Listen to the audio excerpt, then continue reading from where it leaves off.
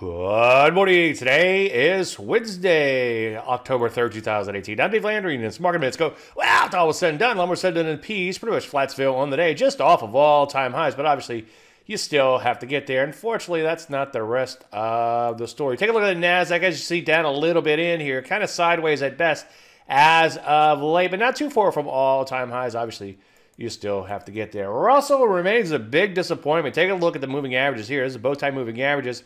As you can see, they have crossed over on a little bit of a bounce. It would actually set up as a daily sell signal. The good news is, longer term, at least so far, it remains in an uptrend, but I sure would like to see it turn right back up. Some areas banging out new highs in here, such as defense. Other areas a little disappointing, like the transports, beginning to roll over a little bit or certainly lose a little bit of steam. So what do we do? Well, longer term trend still remains up. Futures are strong pre-market, so maybe we see a resumption of that in early trading. So continue to look to get long, but obviously in light of this little weakness here and there, wait for entries and honor your stops. Stop me if you've ever heard that before. Any questions? As usual, Dave, DaveLandry.com. I'm Dave Landry, and you just heard Market Minute.